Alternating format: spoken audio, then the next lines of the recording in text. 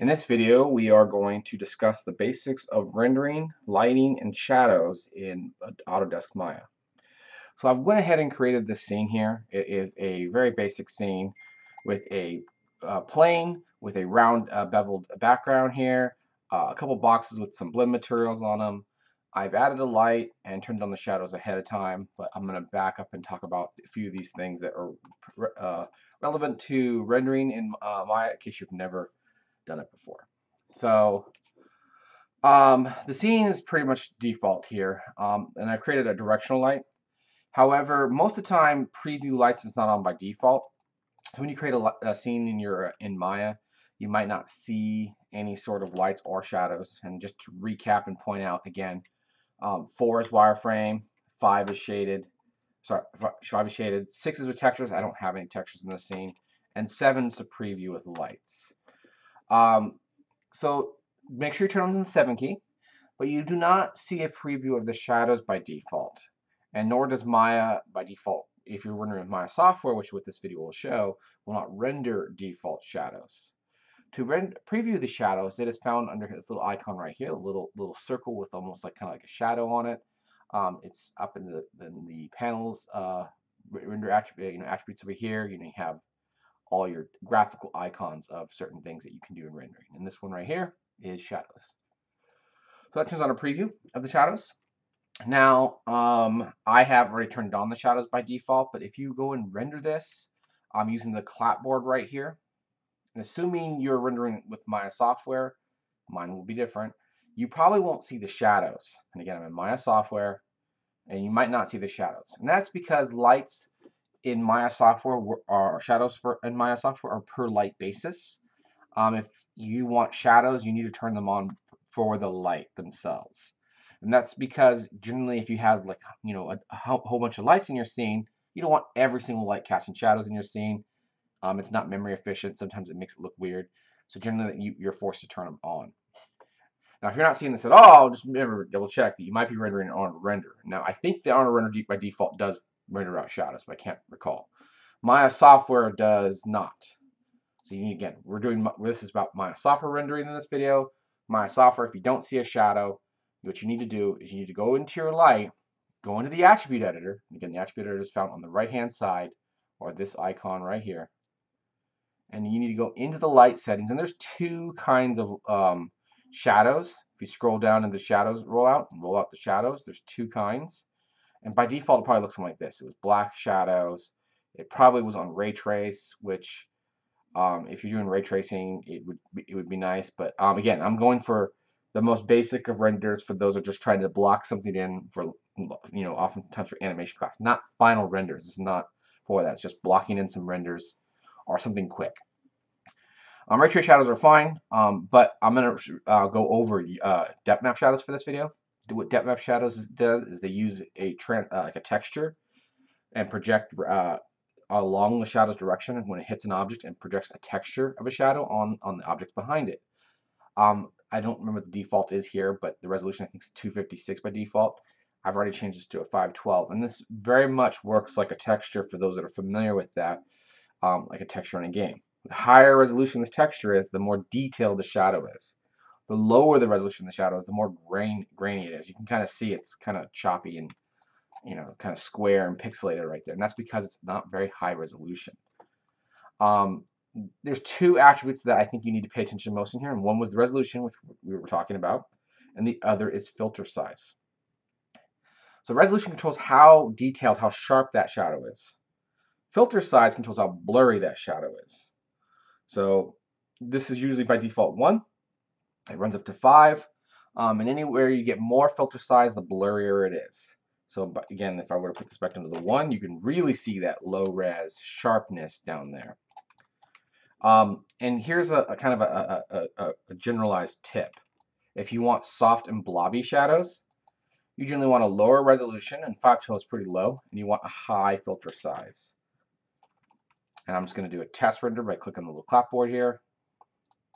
You can see it renders out a soft blobby shadow. And resolution recommended being stays in power 2, 256, 512, 1024, so on. Filter sizes whole integers, 1, 2, 3, 4, 5 usually. um, is about all you need to go. Um, and again, these are for soft shadows. Now, I tend to be a big fan of not doing solid black shadows, um, even if it's like a dark gray, that is infinitely better. Because, um, you know, if you do anything like this solid black, it's just like you have nowhere else to go for the deep, dark, darkest parts of the image. So I generally lighten up my shadow color by increasing this a little bit.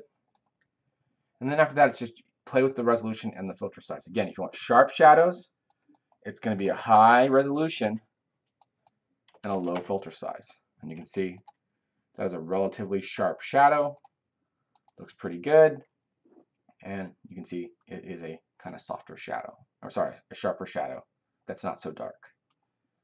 Now, another default that a lot of students forget is you're probably going to see your materials on the dark side be really, really dark. You guys, you guys are probably seeing something more like this. It's really dark. And again, same thing. I don't recommend, uh, um, and there's a lot of ways of handling this, but I don't recommend having solid blacks or solid whites in your scene. You know, mix it up. You, you can even put some tints of color in there.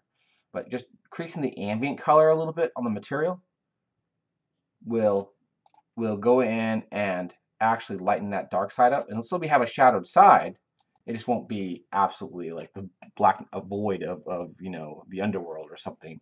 So it's much much uh, more realistic because we in the real world there's a lot of bounce light and things that hit things, so nothing's really truly that dark. So we want to add a little bit of ambient uh, color into the into the material. Granted, there are other ways of doing it as well. You can add just add an ambient light into the scene. Um, you got to be careful with that, um, that you don't blow out your scene, uh, make it too bright, but you can do that as well.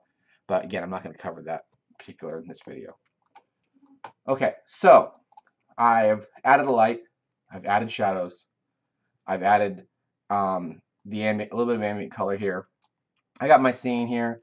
A couple things that you probably don't see off the top of things is this thing called the, the resolution gate. What the resolution gate does is show you exactly what's going to render.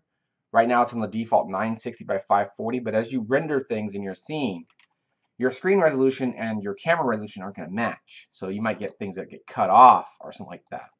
So it's useful to turn on this resolution gate so you know exactly what's going to render. That is found under View, Camera Settings, Resolution Gate. And by default, what you guys are most likely to see before that was No Gate. So if I turn this back to No Gate, it'll turn it off. View, Camera Settings, Resolution Gate. So, and you can turn this on and off, and basically what it's saying is showing you exactly what's going to render, and everything that's dark uh, in this gray area out here is not going to render in the current frame of the current resolution of the frame. This will update based on whatever you, if you change your resolution. So last, last thing we have to talk about here for some basic rendering is the camera settings of the camera. So um, I don't think I played with that in, in, this particular setup stage, but let's go ahead and go click on it anyway. Uh, the clapboard with the gear up here is the render settings. And what this will do is bring up the render settings and you can change render using right here. I already changed it inside when I actually was in the render view, but you can change it to Maya software or Arnold renderer.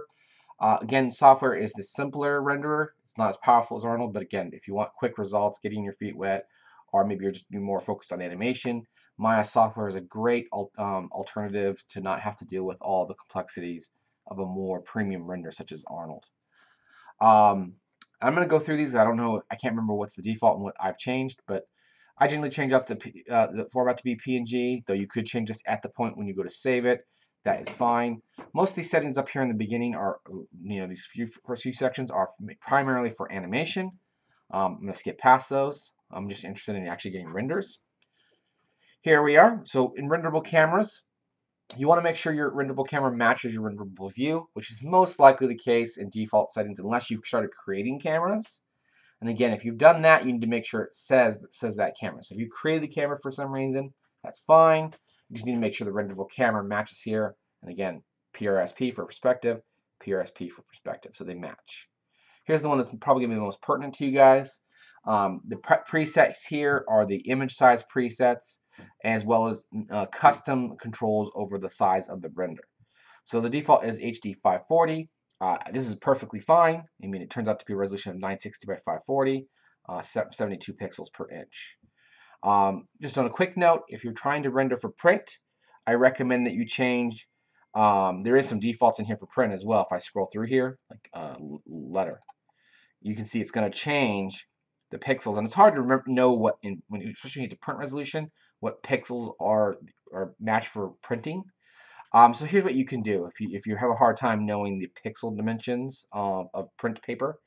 Um, you can change the size per units to be inches right here, and you can think of this stuff in terms of inches.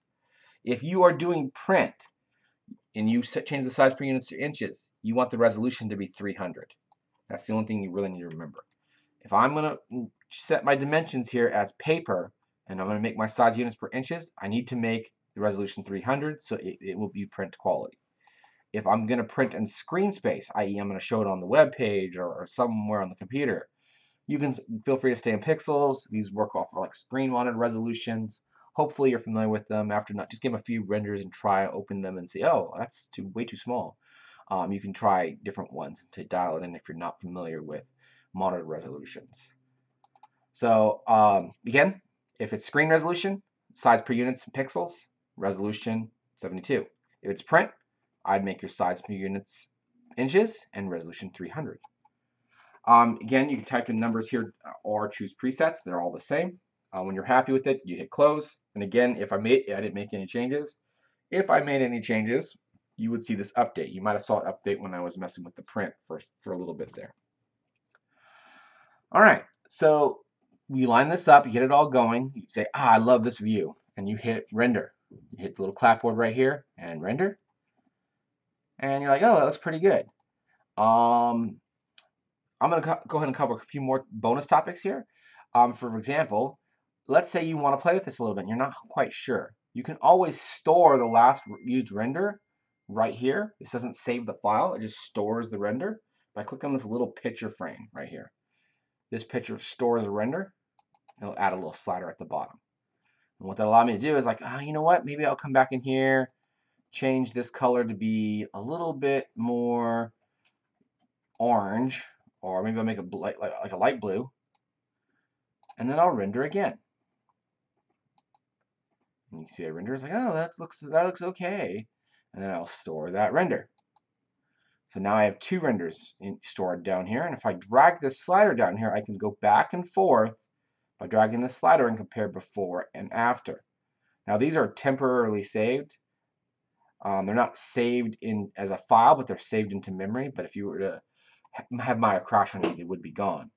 But if you like one over the other, then you can actually save it out as an image, or let's say like, ah, I want to go back to the purple, or just actually change it back to the purple. I'm going to see if I can undo back to that. Yes, I can. Control Z undo, and then render it again, just for the, why not? And you can see, oh, okay, I, I do like this one better. So you can use the storing render, uh, um, render here to, to see previous renders. And if you ever want to get rid of some, you can come in here and, and just click on the one next to it to the right of it.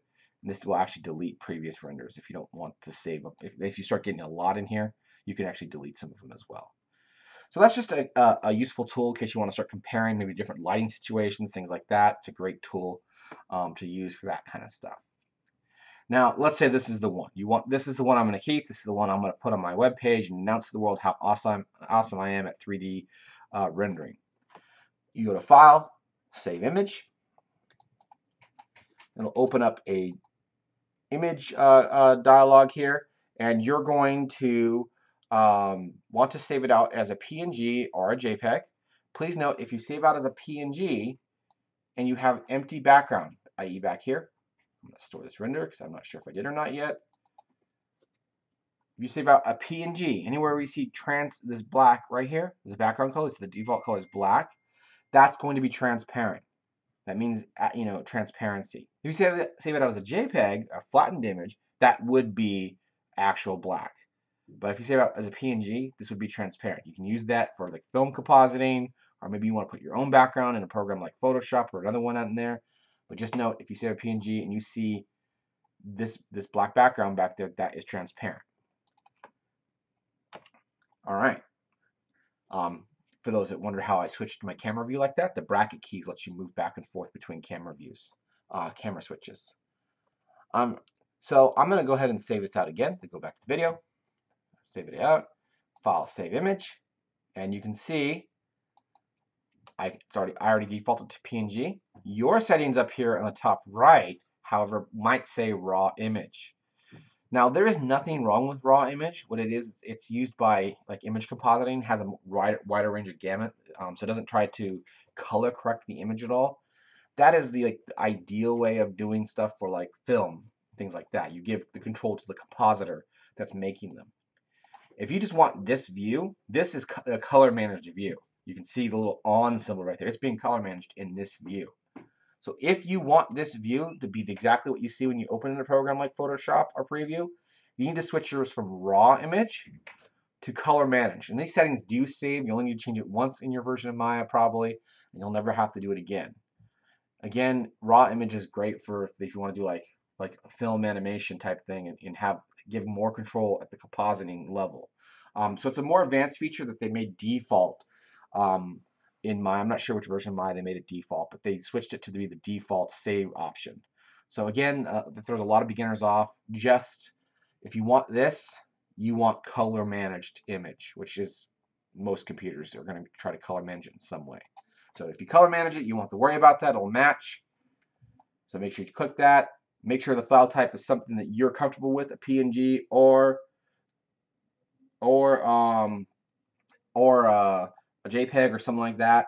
Give it a name, render, I'm just gonna call it render, and I'm gonna save it to the desktop. Now that I've saved that to the desktop, or you can save it anywhere you want, you can double click and open this in preview, and you can see my image, for the most part, matches what I had in Maya. Um, and that's it. So that's how to render basic stuff with uh, Autodesk Maya um, using Maya software as well as some of the you know um, basic lighting controls and shadows. Until next time, have a great day.